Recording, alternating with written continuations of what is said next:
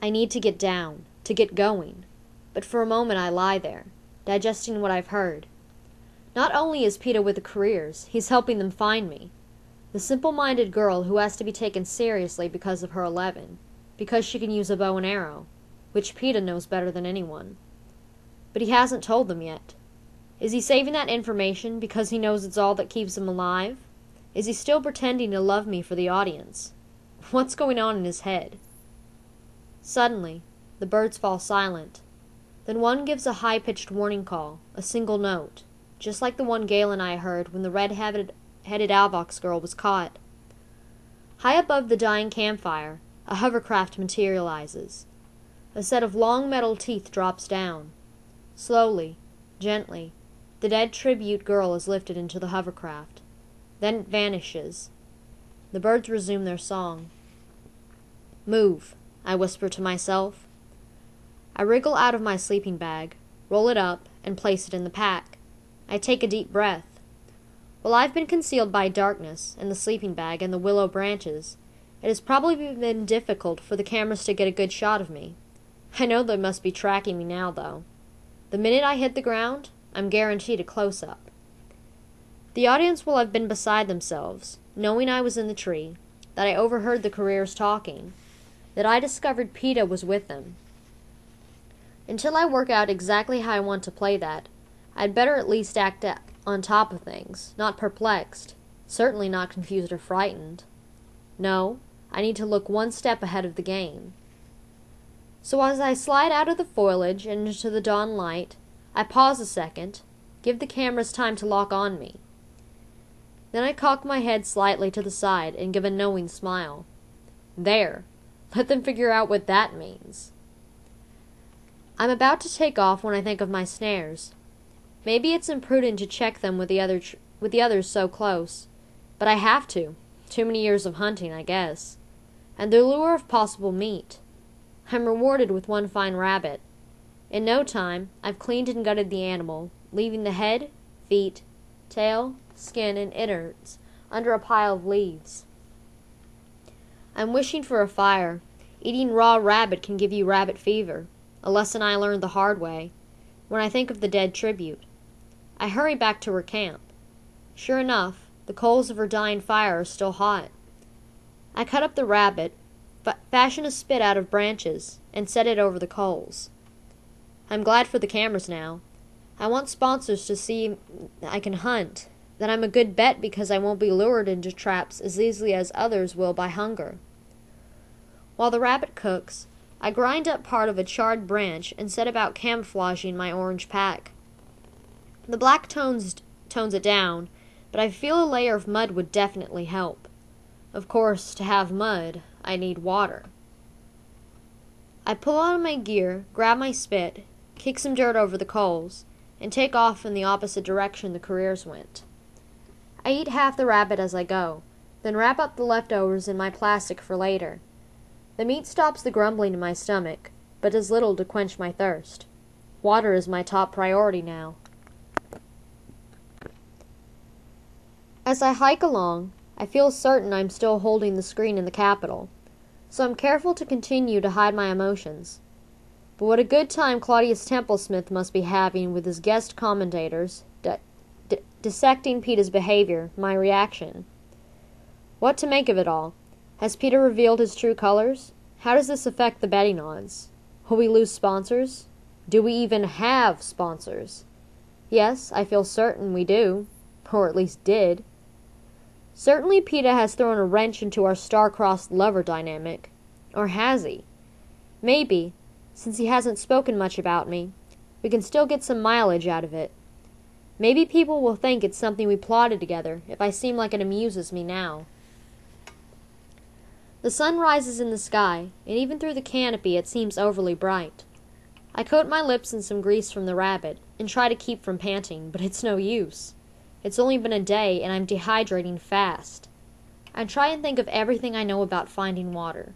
It runs downhill, so, in fact, Keeping down into this valley isn't a bad thing. If I could just relocate a game trail or spot a particularly green patch of vegetation, these might help me along. but nothing seems to change.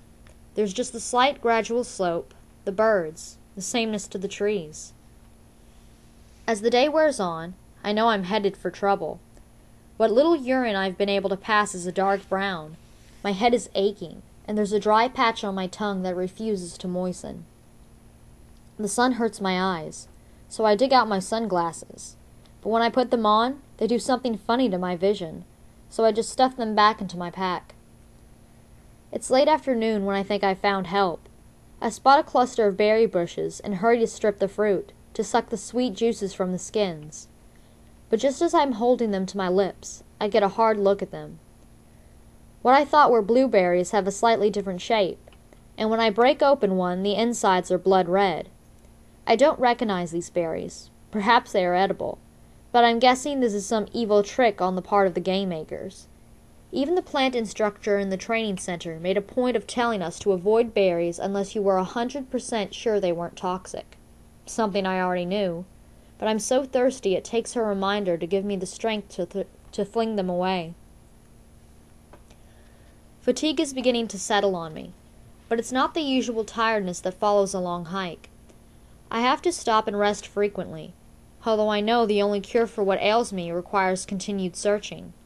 I try a new tactic, climbing a tree as high as I dare in my shaky state, to look for any signs of water. But as far as I can see in any direction, there's the same unrelenting stretch of forest. Determined to go until nightfall, I walk until I'm stumbling over my own feet. Exhausted, I haul myself up into a tree and belt myself in. I've no appetite, but I suck on a rabbit bone just to give my mouth something to do. Night falls, the anthem plays, and high in the sky I see the picture of the girl who was apparently from District 8, the one Peeta went back to finish off. My fear of the career pack is minor compared to my burning thirst. Besides, they were heading away from me, and by now they too will have to rest.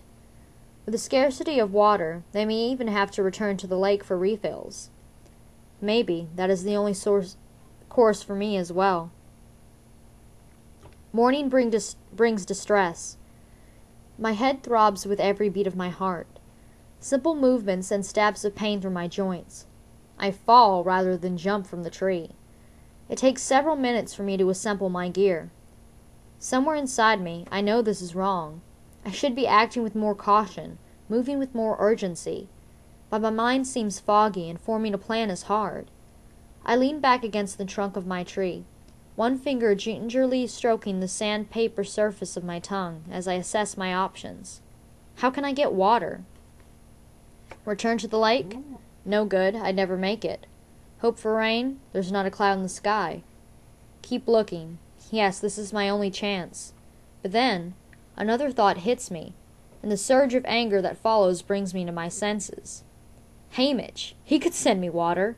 Press a button and have it delivered to me in a silver parachute in minutes. I know I must have sponsors. At least one or two who could afford a pint of liquid for me. Yes, it's pricey, but these people, they're made of money. And they'll be betting on me as well. Perhaps Haymitch doesn't realize how deep my need is. I say in a, in a voice as loud as I dare, Water! I wait, hopefully, hopefully for a parachute to descend from the sky. But nothing is forthcoming. Something is wrong. Am I deluded about having sponsors? Or has Peeta's behavior made them all hang back? No, I don't believe it. There's someone out there who wants to buy me water, only Haymitch is refusing to let it go through. As my mentor, he gets to control the flow of gifts from sponsors. I know he hates me, He's made that clear enough. But enough to let me die? From this? He can't do that, can he? If a mentor mistreats his tributes, he'll be held accountable by the viewers, by the people back in District 12. Even Haymitch wouldn't risk that, would he? Say what you will about my fellow traders in the Hob, but I don't think they'll welcome him back if they let if he let me die this way. And then where would he get his liquor? So what? Is he trying to make me suffer for defying him? Is he directing all the sponsors toward Peeta? Is he just too drunk to even notice what's going on at the moment? Somehow, I don't believe that. And I don't believe he's trying to kill me off by neglect either. He has, in fact, in his own unpleasant way, genuinely been trying to help prepare me for this. Then what's going on? I bury my face in my hands. There's no danger of tears now. I couldn't produce one to save my life. What is Haymitch doing? Despite my anger, hatred, and suspicions, a small voice in the back of my head whispers an answer. Maybe he's sending you a message, it says. A message. Saying what? Then I know.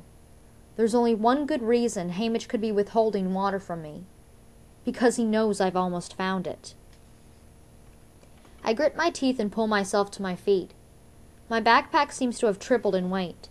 I find a broken branch that will do for a walking stick, and I start off. The sun's beating down, even more searing than the first few days. I feel like an old piece of leather, drying and cracking in the heat. Every step is an effort, but I refuse to stop. I refuse to sit down. If I sit, there's a good chance I won't be able to get up again, and I won't even remember my task. What easy prey I am. Any tribute, even Tiny Rue, could take me right now. Merely shove me over and kill me with my own knife, and I'd have little strength to resist. But if anyone is in my part of the woods, they ignore me. The truth is, I feel a million miles from another living soul. Not alone, though. No, they'll surely got a cam they've surely got a camera tracking me now. I think back to the years of watching tributes starve, freeze, bleed, and dehydrate to death. Unless there's a really good fight going on somewhere, I'm being featured. My thoughts return to Prim. It's likely she won't be watching me live, but they'll show updates at the school during lunch. For her sake, I try to look at least desperate as I can. But by afternoon, I know the end is coming. My legs are shaking, and my heart is too quick. I keep forgetting exactly what I'm doing.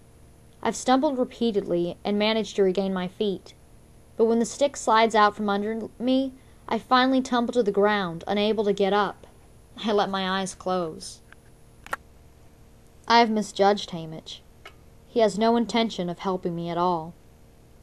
This is all right, I think. This is not so bad here. The air is less hot, signifying evening's approach. There's a slight, sweet scent that reminds me of lilies. My fingers stroke the smooth ground, sliding easily across the top. This is an okay place to die, I think.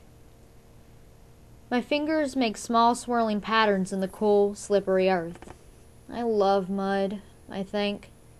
How many times I've tracked game with the help of its soft, readable surface? Good for bee stings, too.